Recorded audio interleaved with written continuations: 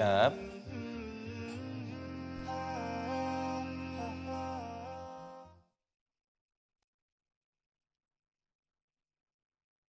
بسم الله الرحمن الرحيم. السلام عليكم ورحمة الله وبركاته. إن الحمد لله نحمده ونستعينه ونستغفره ونعوذ بالله من شرور أنفسنا وسيئات أعمالنا من يهده الله فلا مضل له ومن يضلل فلا هادي له. أشهد أن لا إله إلا الله وحده لا شريك له وأشهد أن محمدا عبده ورسوله صلى الله عليه وعلى آله وصحبه وسلم. فقال الله تبارك وتعالى في كتابه الكريم يا أيها الذين آمنوا اتقوا الله حق تقاته ولا تموتن إلا وأنتم مسلمون. وقال جل جلاله يا أيها الناس اتقوا ربكم الذي خلقكم من نفس واحدة وخلق منها زوجها وبث منهما رجالا كثيرا ونساء. واتقوا الله الذي تساءلون به والأرحام. إن الله كان عليكم رقيبا. وقال سبحانه يا أيها الذين آمنوا اتقوا الله وقولوا قولا سديدا.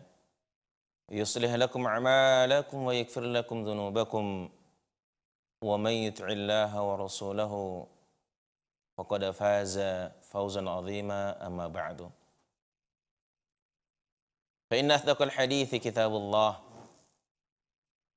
وخير الهدى هدى النبي صلى الله عليه وسلم وشر الأمور محدثاتها وكل محدثة بدعة وكل بدعة دلالة وكل ضلالة في النار. Ikhwani wa akhwati pemirsa rahimakumullah. Marilah kita senantiasa bersyukur kehadirat Allah Subhanahu wa taala yang setiap saat, setiap waktu memberikan kita nikmat dan karunia yang begitu banyak. Yang tidak mungkin bisa kita sebutkan satu persatu dari nikmat dan kurnia Allah. Salawat beriring salam kita mohonkan Allahumma salli ala Muhammad wa ala ali Muhammad.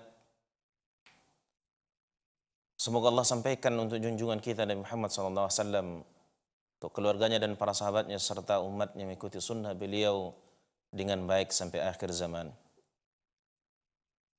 Mudah-mudahan kelak di yaumil mahsyar di hari pembalasan kita orang yang berbahagia mendapatkan syafaat dari Nabi kita yang mulia sallallahu alaihi wasallam dengan izin Allah Subhanahu wa taala. Amin ya rabbal alamin.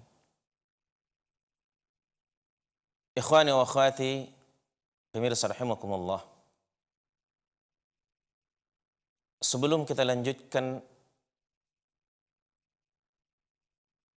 pada adab yang berikutnya atau adab yang ke-18 dari adab yang berkaitan dengan adzan kita tambahkan sedikit dari penjelasan kita yang sebelumnya yaitu adab yang ke-17 zikir setelah adzan. Di dalam zikir yang sudah kita jelaskan ada lafaz آت محمدا الوسيلة Ya Allah berikanlah kepada Nabi Muhammad wasilah. Kita ingin jelaskan apa sih wasilah yang diinginkan, yang kita mohonkan untuk Rasulullah sallallahu alaihi wasallam. Dalam hadis yang diriwayatkan oleh Ibnu Hibban dan yang lainnya Nabi sallallahu alaihi wasallam bersabda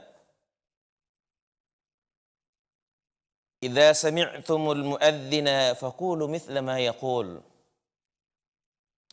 Apabila kamu mendengarkan muadzin adzan faqulu mithla ma yaqul ucapkan seperti apa yang diucapkan oleh si muadzin oleh orang yang adzan wa sallu alayya fa innahu laysa ahadun yusalli alayya salatan illa sallallahu alaihi ashran Lalu berselawatlah kalian kepadaku kata Nabi sallallahu alaihi wasallam. Karena sesungguhnya tidak tidaklah satu orang atau tidaklah seorang di antara kalian siapa pun dari umatku kata Nabi sallallahu yusalli alayya dia berselawat untukku atasku illa sallallahu alaihi ashran kecuali Allah akan membalas selawat untuk orang yang berselawat kepada kata Nabi SAW. Kemudian kata Nabi SAW, wasalu liyal wasilata dan mohonkanlah untukku, mintakanlah untukku, kata Nabi SAW, al-wasilah. Apa itu wasilah? فإن الوسيلة منزلة في الجنة Kata Nabi SAW menjelaskan apa makna wasi, wasilah yang kita mohonkan, yang selalu kita minta kepada Rasulullah setiap kita zikir setelah adzan, ati Muhammadin wasilah. Apa itu wasilah? Fa innahu manzilat fa innaha manzilatun fil jannah atau fa innal wasilata manzilatun fil jannah. Sesungguhnya wasilah itu adalah suatu tempat, suatu kedudukan di sorga. Satu, dan tempat itu hanya satu di sorga. Wala tambagi an takuna illa li'abadin. Dan tempat itu tidak pantas atau tidak akan ada yang memperolehnya kecuali hanya satu hamba Allah. Dari semua hamba-hamba Allah, manusia pertama sampai yang terakhir. Wasilah adalah suatu tempat di sorga, hanya satu dan hanya satu hamba Allah yang berhak mendapatkannya kata Rasulullah SAW. Wa arju an akuna ana wa arju an akuna kata Nabi SAW. Dan aku berharap bahwa akulah seorang hamba yang mendapatkan wasilah tersebut.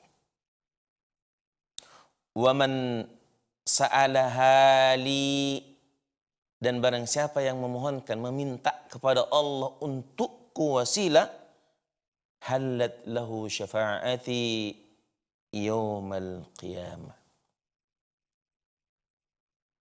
Maka dia berhak untuk mendapatkan syafaatku kata Nabi SAW pada hari kiamat. Riwayat tentang zikir yang kita sampaikan atau ada-ada yang kita sampaikan sebelumnya Rasulullah SAW menjelaskan ثم صلوا علي فإن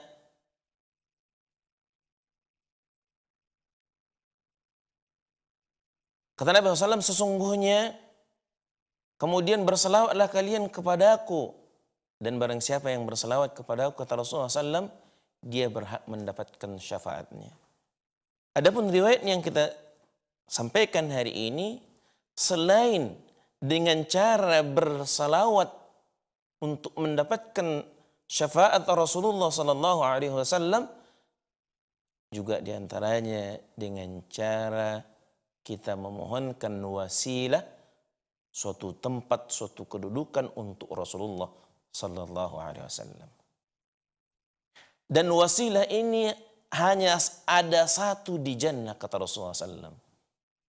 Fa innal wasilata manzilatun fil jannah Sesungguhnya wasilah yang kalian mohonkan kepada Allah untukku kata Rasulullah adalah suatu tempat di sorga fa innaha la tambagi an takuna illa li'abadin min ibadillah.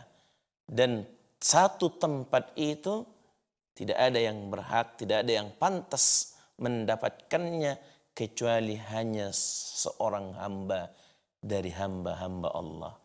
Kata Nabi SAW, dengan banyaknya umatnya yang memohonkan wasilah itu, itu untuk Rasulullah SAW, maka kata Nabi SAW, wa arju an, an, an akuna huwa, aku berharap bahwa akulah hamba yang berhak untuk mendapatkan wasilah tersebut.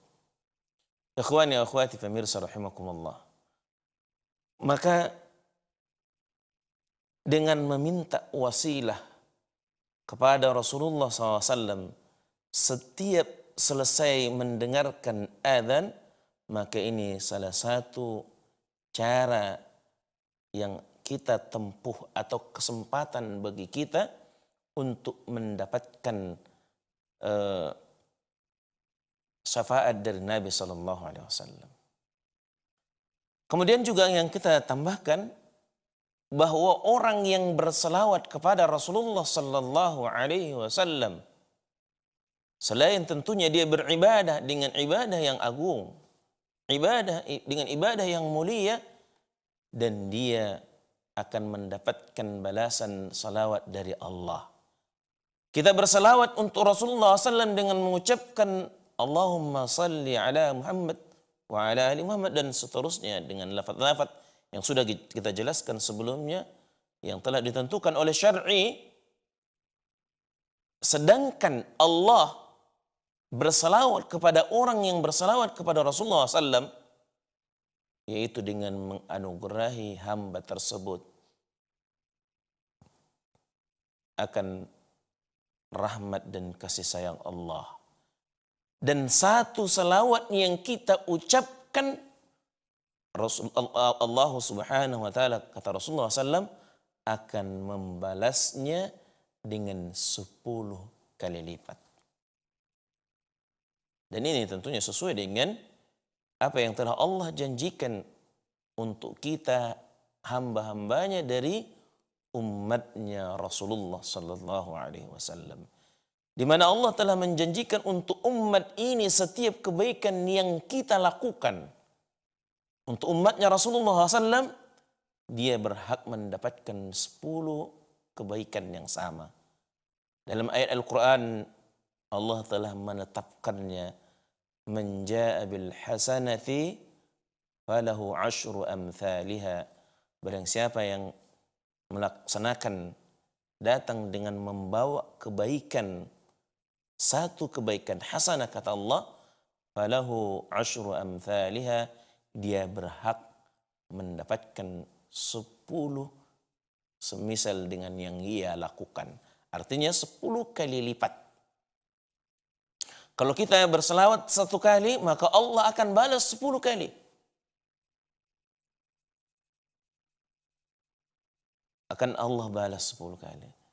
Dan apa yang telah Allah tetapkan ini tidak akan Allah selisihi, tidak akan Allah ingkari dan terbukti ketika Rasulullah SAW dimi'rajkan oleh Allah dinaikkan ke langit yang ketujuh ke Sidratul Muntaha untuk menjemput kewajiban salat fardu untuk umatnya umat Muhammad sallallahu alaihi wasallam yang tadinya Allah Subhanahu wa taala memfardukan untuk kita itu 50 salat. Bukan 50 rakaat, tapi 50 salat. Maka Nabi sallallahu alaihi wasallam meminta keringanan rukhsah untuk umatnya karena beliau tidak ingin bahwa kita umatnya ini mendapatkan kesulitan maka Allah Subhanahu wa taala memberikan kepada Rasulullah untuk kita umatnya keringanan dari 50 menjadi 5 salat saja. Tapi apa kata Allah? Cukup bagimu dan umatmu wahai Muhammad dengan lima salat ini tapi apa yang ada di sisi Allah tidak berubah. Tetap seperti yang semula. Kenapa? Karena setiap kebaikan yang dilakukan oleh umat ini, oleh kita, akan dibalas oleh Allah Subhanahu wa taala dengan 10 kali lipat. Kalau tadinya 50 salat, nah ketetapan itu tetap berlaku di sisi Allah yang akan kita peroleh ganjaran yang akan kita peroleh dari salat yang Allah perlukan tetap 50. Tapi yang cukup bagi umat ini, cukup bagi umatnya Muhammad sallallahu alaihi wasallam, kita kita ini umat Islam dengan melakukan lima kali salat saja. Kenapa? Karena kebaikan satu kebaikan akan Allah balas dengan sepuluh kali lipat. Maka kita salat lima waktu kali sepuluh itu sama dengan lima puluh sehingga apa yang kita lakukan tetap ganjaran yang Allah janjikan dari semula yang Allah telah tetapkan di lauhul mahfud tetap 50 salat. Ini keutamaan yang besar untuk umat ini. Maka sebenarnya kita kalau mau cerdas, mau berpikir, ya, tidak pantas sebenarnya umatnya Muhammad, umatnya Rasulullah SAW masuk neraka lagi. Kenapa? Karena mendapatkan ganjaran, mendapatkan pahala, mendapatkan kebaikan jauh lebih mudah kita mengumpulkannya daripada dosa. Jauh setiap satu kebaikan kita mendapatkan 10 kali lipat. Sedangkan dosa dia tidak akan mendapatkan balasan kecuali yang setimpal dengan yang ia lakukan. Kecuali dosa syirik. Adapun dosa syirik bukan hanya mendapatkan satu keburukan, dan akan menghapuskan seluruh kebaikan dan pahala yang pernah ia lakukan. Ini bahayanya syirik. Maka sudah sepantasnya sebenarnya umatnya Muhammad Sallallahu Alaihi Wasallam ini banyak atau mudah untuk mendapatkan jannah Allah. Kenapa? Karena kebaikan yang dilakukan oleh kita umatnya Rasulullah SAW akan dibalas, diganjar oleh Allah dengan 10 kali lipat minimal. Dan masih banyak janji-janji Allah yang akan Allah lebihkan dari itu. Misalkan salat dengan berjamaah enggak hanya satu kali sepuluh kali lipat. Dengan salat berjamaah Allah Subhanahu wa taala akan memberikan ganjaran lebih baik dari 27 kali lipat dan bahkan disebutkan dalam Al-Quran dan dalam hadis-hadis yang sahih Allah akan melipat gandakan kebaikan yang dilakukan oleh hamba-hamba Allah sesuai dengan apa yang Allah kehendaki. Inilah sayangnya. Inilah kasih sayang yang Allah berikan kepada kita umatnya Muhammad atau umat Islam. Tapi kita lalai, tapi kita tidak peduli. Ini tambahan dari yang sudah kita pelajari tentang wasilah yang kita mohonkan kepada Rasulullah SAW dalam zikir dan doa kita ketika selesai mendengarkan adzan di mana kita mengucapkan Allahumma rabb hadhihi da'wah was salatil qa'imah hadhihi da'wati tammah was salatil qa'imah ati Muhammadan al wasilata wal fadilah wasilah yang kita mohonkan pada Allah untuk Rasulullah SAW adalah suatu maqam, suatu manzilah, suatu tempat, suatu uh, kedudukan yang hanya ada di satu saja di sorga yang Allah sediakan untuk seorang hamba dari hamba-hamba Allah. Adab yang ke-18. Berdoa di antara adzan dan iqamah. Ini adab bagi kita baik yang adzan atau yang mendengarkan adzan. Yaitu memperbanyak ikthar doa bain al-adhan wal iqamah. Memperbanyak doa antara adzan dan iqamah.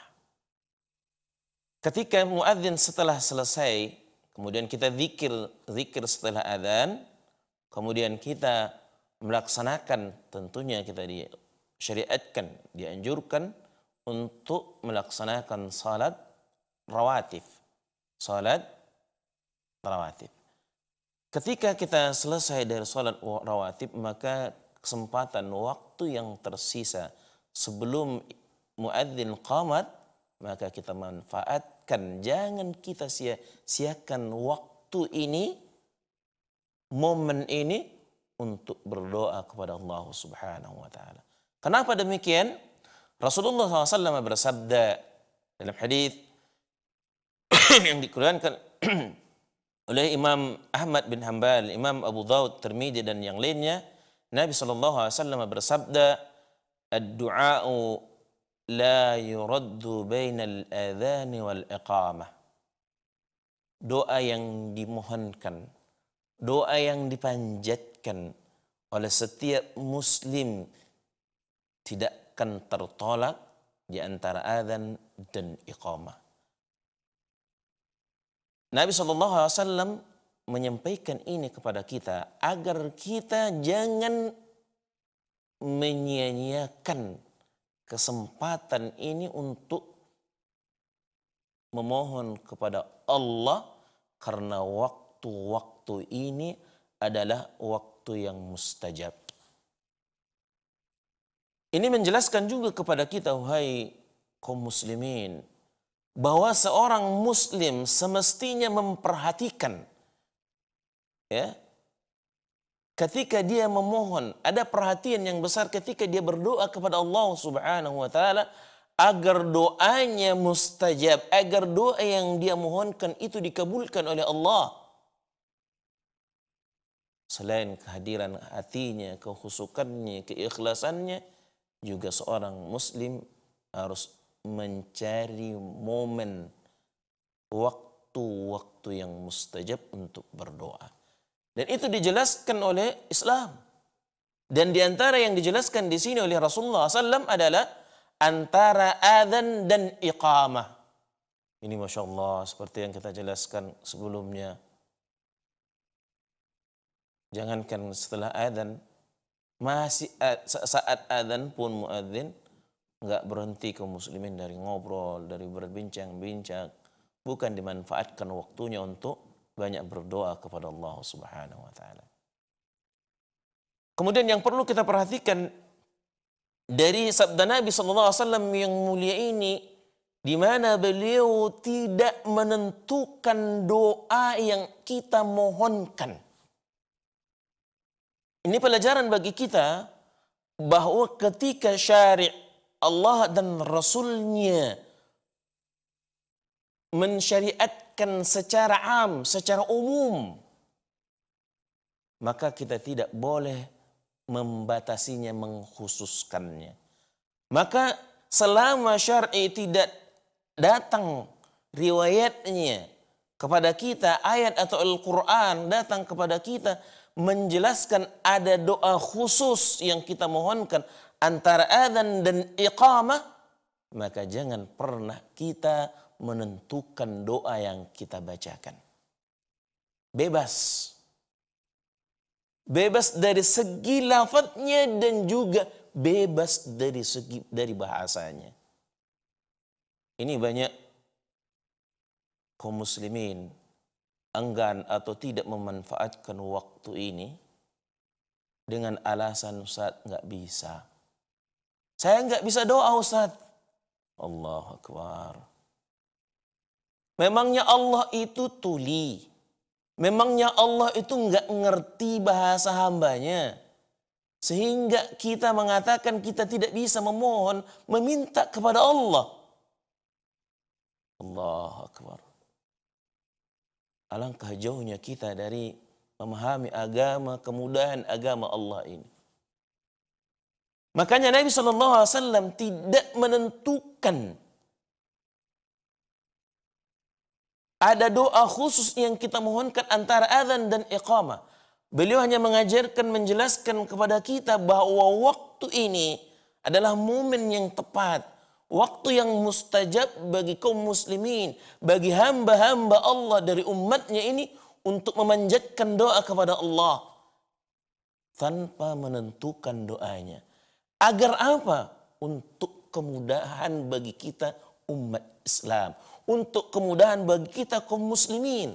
Sehingga apa yang hajat yang kita inginkan langsung kita mohon kepada Allah ya Rabb wahai Tuhanku wahai Rabbku ya Allah aku ini hamba yang banyak keliru hamba yang banyak lalai maafkan ampuni kekeliruan dan kelalaianku ya Allah aku ini hamba yang lemah aku ini hamba yang fakir bantulah aku Tolonglah aku ya Allah untuk mudah melaksanakan, melakukan ketaatan kepada dan doa yang begitu banyak.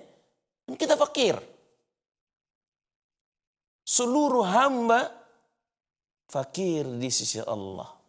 Semua hamba bergantung kepada Allah. Sehingga tidak ada satupun dari kita hamba-hamba Allah ini yang tidak punya kebutuhan yang banyak kepada Rabbnya. Pasti. Maka untuk memenuhi kebutuhan yang banyak itu, mohon sama Allah. Kapan waktunya? Di antaranya bainal adhani wal iqamah. Perbanyak doa antara adhan dan iqamah. Jangan bercanda, jangan sia-siakan waktu yang begitu bermanfaat untuk kita gunakan berdoa kepada Allah Subhanahu wa taala. Maka Syekh menjelaskan di sini. Maka wajib bagi setiap muslim untuk mencari waktu-waktu yang mustajab dan berdoa pada saat-saat itu. Allah Subhanahu wa taala telah menjelaskan dalam Al-Qur'an atau dalam hadis-hadis yang sahih ada waktu waktu-waktu yang mustajab dan juga tempat-tempat yang mustajab kita gunakan untuk berdoa. Dan di antaranya adalah antara adzan dan iqamah. Tentunya sekali lagi doa yang kita mohonkan, yang kita panjatkan adalah untuk kebaikan, doa kebaikan dan tidak ditentukan bacaan atau doanya, lafad-lafadnya di dalam berdoa di antara adzan dan iqamah. Sehingga ini akan memudahkan. Seandainya Rasulullah SAW mengajarkan doa tertentu khusus untuk antara adzan dan iqamah seperti halnya zikir atau doa setelah selesai adzan maka ini akan menyulitkan bagi kita umatnya dan Nabi Shallallahu Alaihi Wasallam sangat tidak menginginkan kesulitan bagi kita umatnya. Sehingga Nabi Shallallahu Alaihi Wasallam tidak menentukan doa khusus yang kita mohonkan kepada Allah antara adzan dan iqamah dan disesuaikan dengan kebutuhan masing-masing hamba. Kebutuhan masing-masing kita umat. Kebutuhan masing-masing individu orang kaum muslimin. Tentunya kebutuhan kebutuhan kita berbeda-beda, tidak sama. Inilah di antara hikmahnya kenapa di dalam Islam tidak diperintahkan kecuali waktu-waktu yang sangat sedikit atau dalam uh, waktu-waktu yang tertentu yang diperintahkan dalam berdoa itu dengan berjemaah. Kenapa? Karena setiap kita kebutuhannya berbeda-beda. Adapun seperti yang dianggap oleh kaum muslimin berdoa itu hanya ada pada selesai sholat fardu, bukan antara adzan dan iqamah dan tempat-tempat mustajab yang lainnya. Tapi mereka menganggap bahwa doa yang mustajab itu adalah di antara salat eh, di, di akhir atau di selesai salat fardu. Kemudian harus dilakukan dengan berjamaah ini sangat jauh dari tuntunan syariat Allah. Selain tidak ada riwayat yang sahih yang datang sampai kepada kita nukilannya juga tentunya kebutuhan kita masing-masing sangat berbeda. Tapi apa yang terjadi kalau berdoa itu dituntut atau harus dengan berjamaah, maka apa yang dimohonkan orang sama. Ada imamnya berdoa karena dia kurang sehat, meminta agar disembuhkan, agar disehatkan. Sementara makmumnya dia ingin doa untuk kemudahan rezeki. Tapi yang diminta oleh imamnya untuk kesembuhan, makmumnya bilang amin. Kenapa? Secara umum mereka memang tidak paham. Tidak tahu apa yang diminta oleh imamnya. Dia hanya amin saja. Makanya di dalam berdoa itu memohonlah kepada Allah. Selama kita di, tidak dituntut doa khusus, maka di luar doa-doa yang khusus yang telah ditentukan oleh syar'i, memohonlah kepada Allah. Berdoalah kepada Allah dengan bahasa yang dimengerti, bahasa yang kita paham, bahasa yang saat kita mengucapkan hati kita hadir, hati kita khusyuk. Ini berusaha lagi dia bagaimana lafadznya agar benar masih membenarkan lafad Arabnya. Kapan hadir hatinya ketika dia mohon harus dengan bahasa Arab. Ini suatu keliruan yang banyak dilakukan oleh kaum muslimin. Apalagi anggapan bahwa belum dianggap berdoa kalau belum doa bersama setelah selesai sholat fardu. Dianggap kita ini orang yang sombong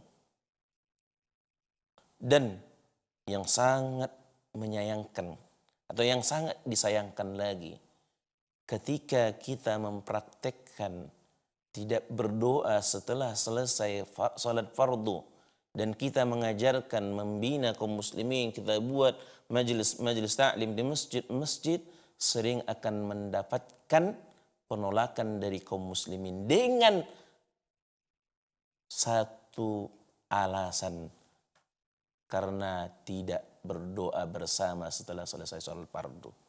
Hanya itu alasan mereka untuk menolak kita menyampaikan ilmu kepada kaum muslimin. Ini kita alami. Ini kita dapati di berbagai masjid di negeri kita ini. Allah nggak usah masuk lagi usah itu ngajar di masjid kita.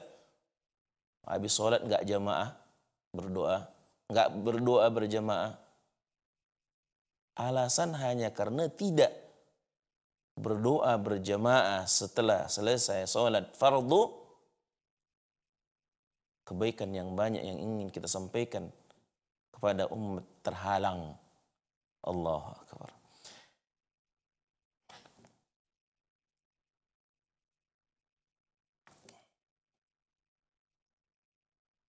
Kita lanjutkan. Adab yang ke-19. Tidak meninggalkan masjid setelah dikumandangkan adzan. Ini harus dijaga oleh kaum muslimin. Kecuali hajat. Misalkan kita sudah masuk masjid adzan, tiba-tiba batal wudhu kita. Mau nggak mau. Itu hajat. Itu kebutuhan kita yang harus memaksa kita harus keluar. Karena kita nggak mungkin sholat tanpa wudhu. Adapun karena keperluan-keperluan duniawi yang memang bisa kita tunda, maka tidak halal atau tidak boleh, tidak dibenarkan seorang muslim meninggalkan atau keluar dari masjid ketika adzan dikumandangkan. Ini sering juga kita dapati. Ketika sudah adzan, HP-nya bunyi. Langsung keluar menjawab panggilan dari HP-nya Allah Akbar. Begitu pentingnya kah bagi mereka urusan dunia. Hanya sampai di luar kita dengar ketawa-ketawa canda aja sama temannya. Tapi dia harus melanggar adab ketentuan yang telah diberikan oleh syar'i kepada kita umat Islam. Syekh menjelaskan di sini seorang tidak boleh keluar dari masjid setelah dikumandangkannya adzan kecuali karena suatu sebab yang darurat. Sesungguhnya ketika Abu Hurairah radhiyallahu anhu warḍah melihat seorang keluar dari masjid setelah adzan itu pernah suatu hari setelah adzan di Masjid Nabawi maka ada seorang yang keluar dari masjid tanpa alasan yang jelas, alasan yang dibenarkan oleh syar'i. Maka Abu Hurairah berkata, "Amma hadza faqad asa Abul Qasim sallallahu alaihi wasallam." Kata Abu Hurairah sesungguhnya orang ini telah mendurhakai Abul Qasim. Siapa yang dimaksud adalah Rasulullah sallallahu alaihi wasallam. Artinya orang yang keluar dari masjid setelah dikumandangkan azan adalah suatu kedurhakaan kepada Rasulullah sallallahu alaihi wasallam. Suatu penyelisihan kepada Rasulullah sallallahu alaihi wasallam, suatu penyelisihan kepada sunnah yang telah ditetapkan oleh Nabi kita yang mulia alaihi salatu wassalam. Siapa? Orang yang keluar dari masjid setelah dikumandangkan seruan azan. Dan ini sekali lagi sangat mudah bagi kaum muslimin melanggar adab ketentuan yang satu ini walaupun hanya urusan sepele. Allah, kepada HP-nya bunyi. Padahal rata-rata loh masjid dan musalla kita ada pemberitahuan kalau yang bagi yang bawa handphone atau HP itu agar dimatikan. Artinya apa? Ketika kita memang sudah berada dalam masjid, tolonglah manfaatkan yang sedikit ini. Waktu yang singkat itu untuk ibadah dengan khusyuk dan ikhlas kepada Allah. Tinggalkan dulu sebentar saja sih. Perkara-perkara duniawinya. Apa nggak bisa? Kadang kita geram. Apalagi Masya Allah ringtonnya. Padahal kita sedang sholat. Bunyi rington di sebelah ringtone yang macam-macam pula Allah Akbar. Suaranya keras. Bukan hanya mengganggu dia, tapi mengganggu orang yang ada dalam masjid. Kalau nggak ada keperluan, kenapa sih harus bawa handphone? Betapa pentingnya. Nggak bisa lepas apa dari handphone. Allah Akbar. Sangat menyedihkan kalau kita dapati kondisi umat pada hari ini. Kaum muslimin, ikhwani wa akhwati pemirsa rahimakumullah.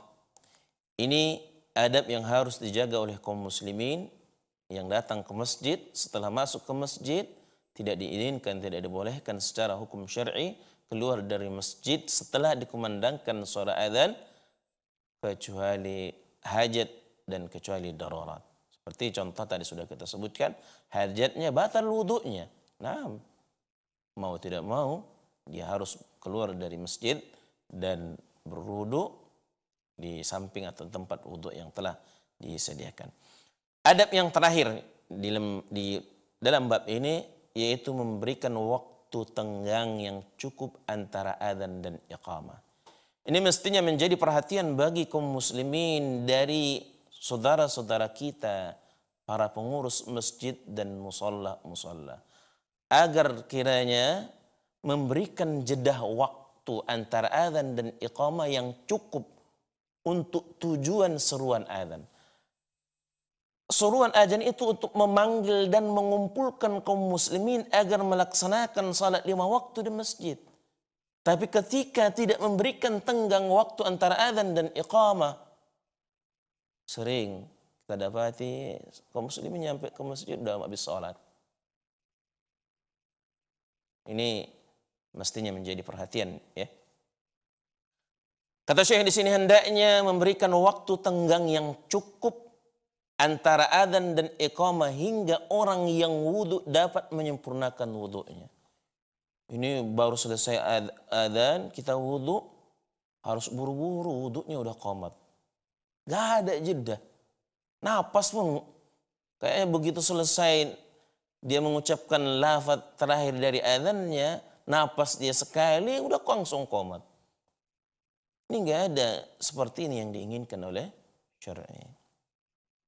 Tapi memberikan tenggang waktu sehingga orang yang sedang masih berwudu atau orang yang mungkin pas masih menyantap makanan, dia masih sempat untuk menyelesaikan hajatnya.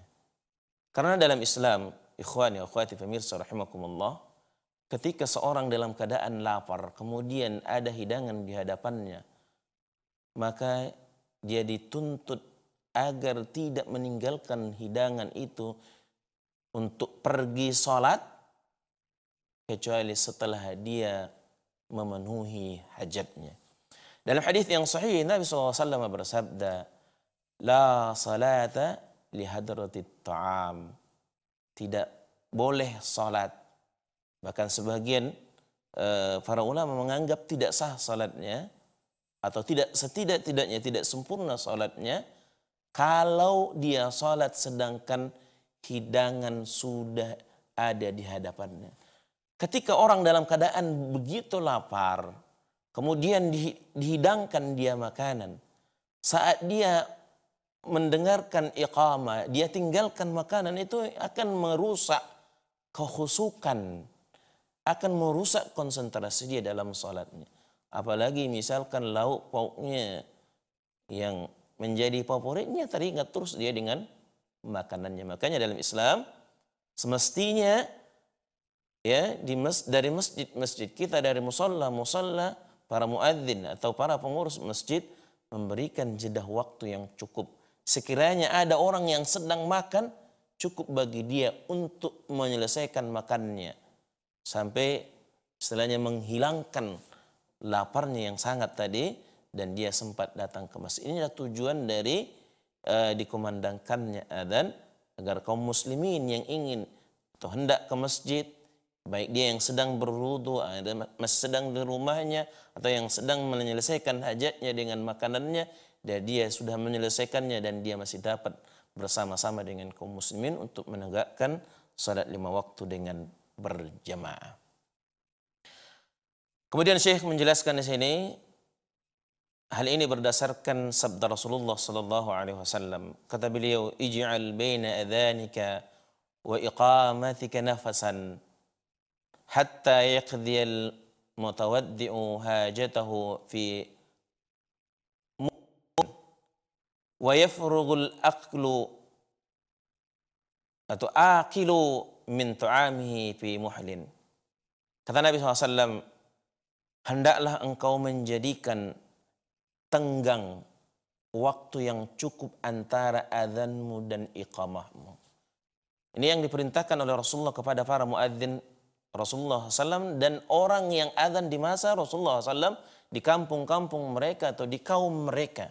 Rasulullah memberikan tuntunan kepada para muadzin dan para imam masjid-masjid di kaumnya agar memberikan jeda tenggang waktu yang cukup antara adzan dan iqamah. Kata Nabi SAW, Ij'al baina adhanika wa iqamatika nafasan. Jadikanlah tenggang waktu antara adzanmu dan iqamah.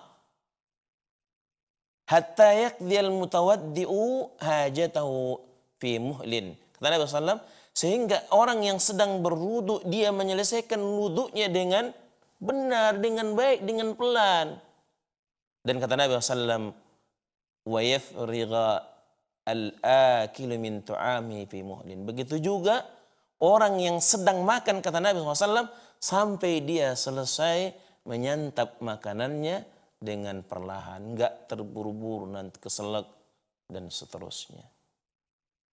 Ini yang mestinya diperhatikan oleh kita kaum muslimin khususnya ini pada orang yang diberikan amanah untuk mengurus masjid-masjid kita untuk mengurus musalla-musalla kita bagi mereka para muadzin dan juga para imam agar sekiranya memberikan jeda waktu yang cukup untuk mengumpulkan kaum muslimin yang ada di sekitar masjid dan musalla untuk bersama-sama bersatu padu untuk melaksanakan salat fardu dengan berjamaah dan inilah tujuan disyariatkannya adzan ketika tidak diberikan tenggang waktu jeda antara adzan dan iqamah, maka maksud tujuan dari adzan yang dikomandangkan ini tidak akan tercapai. Sehingga kita lihat kaum muslimin datang ke masjid, masuk ke masjid, masuk ke musola dengan tergesa-gesa. Padahal